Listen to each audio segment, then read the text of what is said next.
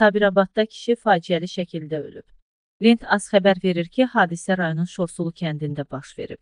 Kənd sakini 47 yaşlı Rafət Əvəzoğlu Sərxanov kənd ərazisindən keçən su arxana düşərək boğulub.